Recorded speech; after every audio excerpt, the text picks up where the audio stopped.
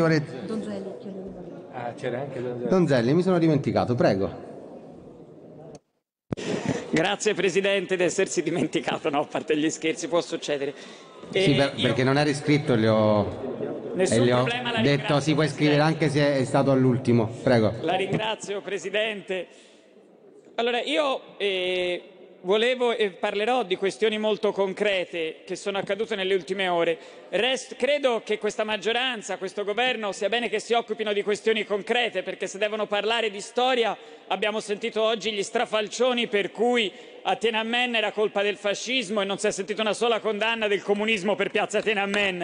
Quindi arriviamo ai paradossi più assurdi del mondo, ma siccome bene o male e invece sulle cose concrete bisogna dare risposte, forse non bisogna andare a studiare la storia di qualche anno fa o anche semplicemente la cronaca, potreste arrivare a comprendere che in queste ore c'è stato un disastro ambientale gravissimo eh, che ha coinvolto molte regioni d'Italia. Io sono qui a, a specificare invece la Toscana, dove nel- nella montagna pistoiese sono state distrutte tutte le piste da sci, le strade, sono franate colline intere, in Garfagnana ci sono dei danni enormi e sono qui a chiedere alla maggioranza e al governo, visto che ormai non c'è più possibilità di- per eh, i parlamentari di presentare emendamenti per il cosiddetto decreto rilancio, eh, siamo a chiedere al relatore di presentare degli emendamenti a rilancio per trovare i fondi per andare incontro ai territori in queste ore distrutti dall'emergenza ambientale, perché mentre se in un paese, in un comune, le attività economiche già devono lottare col- per la sopravvivenza in seguito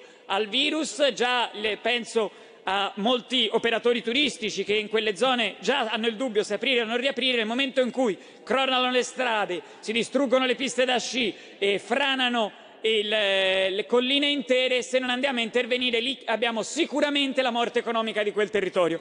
Sono quindi a chiedere alla maggioranza e al governo di presentare un emendamento al rilancio su questo tema per aiutare tutte le zone colpite e devastate dal- dai disastri ambientali di queste ore. Se farete questo emendamento, noi come Fratelli d'Italia saremo pronti su questo emendamento a darvi il vostro sostegno per tutelare i nostri territori.